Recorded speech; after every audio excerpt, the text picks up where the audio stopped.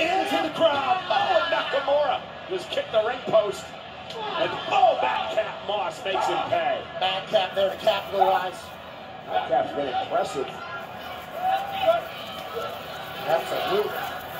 The only thing that isn't impressive about Madcap is what's in between his ears. It's a hallway situation.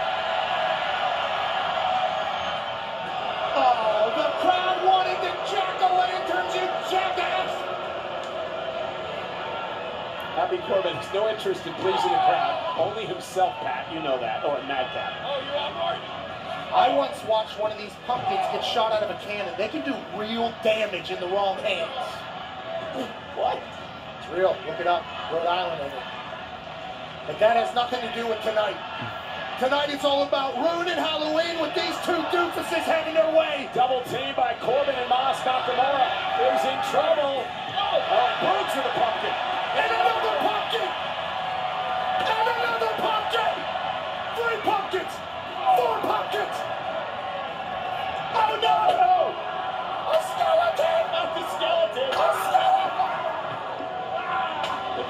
Situation out here. I'd say.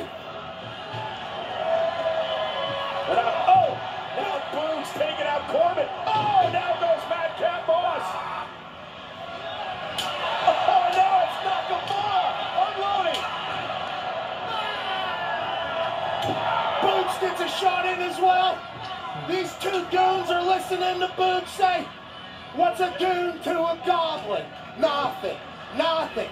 You ain't saying nothing. Happy Corbin getting tossed around. Talking about. Nakamura on the double team. Don't think he got all that, but it may be enough. Cover now on Corbin.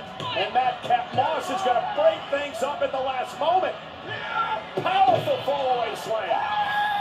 And he's excited about it, but And Boogs going to make Madcap Moss pay.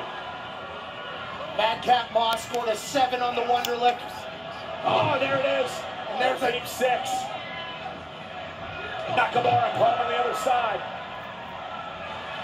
Pumpkins are sprayed all around the arena. Could be time. Let's go. What's Madcap doing? It's, it's gonna be dark in there, no candle. Oh no, what a horror show with an H. And now the double team by Corbin and Moss. Moves into the corner. Calling into the post goes Corbin. Need to introduce yourself to SmackDown Channel